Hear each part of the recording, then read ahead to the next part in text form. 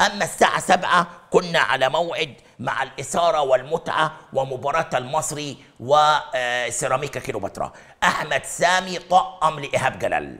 اداله درس في فنون الكورة. مباراة رائعة. إيهاب جلال يا جماعة والله أنا بقول لكم من خلال كل الكورة لله محتاج يروح ياخد دورات تدريبية. ما حاجة من اتنين. لا إحنا ما بنفهمش. لا إيهاب جلال ما بيفهمش. إحنا بنفهم.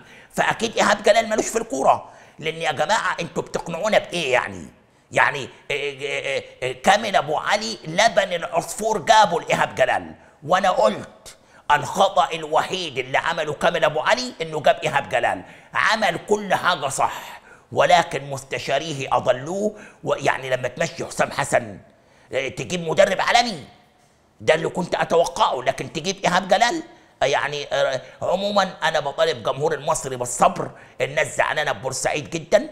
والكلام ده كله ولكن سيراميكا حتة تانية خالص أفضل ماركاته في الصيف أحمد سامي مدرب عظيم حتى الممثلين النهارده وأنا قريت لكذا ممثل كذا فنان منهم صبري فواز كتب قال لك أحمد سامي مدرب واعد جامد محترف سيكون المدير الفني لمنتخب مصر قريبا. أحمد سامي عمل مباراة يا جماعة امبارح كان في 19 نقلة. السيراميكا عمل 19 نقلة.